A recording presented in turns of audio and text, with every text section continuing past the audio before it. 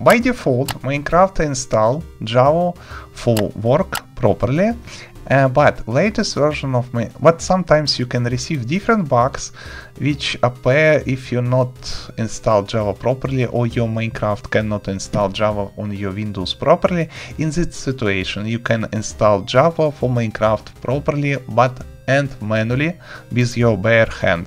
How you can do this I show you in this video, so don't forget leave like it will help me create these tutorials every day and also subscribe and activate this bell if you first time here. Let's get started. Whee! Okay, step number one, uh, we need to update Java. For that go on Java Software, Oracle, download Java.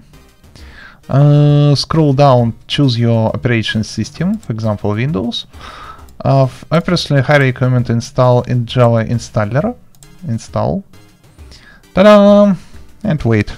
Or MSI, if you prefer. Okay, find exe file JDK17 and install as normal Windows application. Wait a second, guys. Um, next, next, and so on. Nothing very fancy here.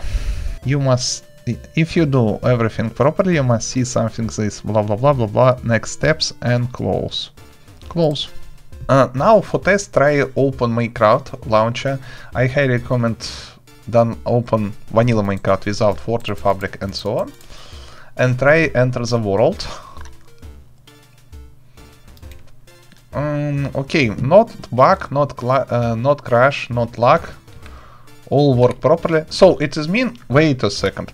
Also, pay attention, press F3 button and pay attention on top right corner you see Java 17 blah blah blah. It is mean Java successfully installed and properly work.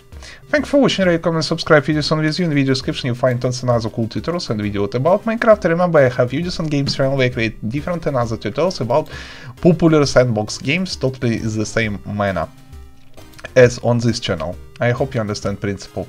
Also leave your question and suggestion in comment section below. I try my best and love read your comment and comment section below. Yeah! Oh, wait a second.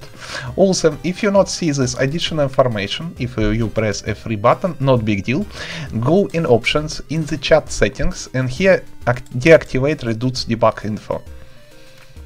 And after that you can see uh, all the other information. Cool. Java 17. Yeah, boy.